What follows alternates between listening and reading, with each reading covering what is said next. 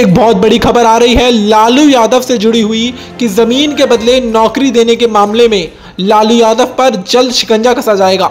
लालू यादव के खिलाफ केस चलाने की मंजूरी खुद राष्ट्रपति ने दे दी है। सीबीआई ने राष्ट्रपति की मंजूरी का खत कोर्ट में सौंप दिया है और जल्द लालू यादव के खिलाफ केस चलाया जाएगा। दिल्ली की राउज एवेन्यू कोर्ट में तय किया जाएगा कि लालू यादव पर क्या क्या आरोप लगेंगे और क्या क्या आगे उन पर शिकंजा कसा जाएगा। बहुत बड़ी खबर आ रही है लालू यादव से जुड़ी हुई कि ज़मीन के बदले नौकरी के इस मामले में लालू यादव पर जल्द शिकंजा कसा जाएगा। खुद राष्ट्रपति ने लालू यादव के खिलाफ केस चलाने की मंजूरी दी है। ऐसी अपडेट्स के लिए देखते रहिए न्यूज़ वर्ल्ड इंडिया।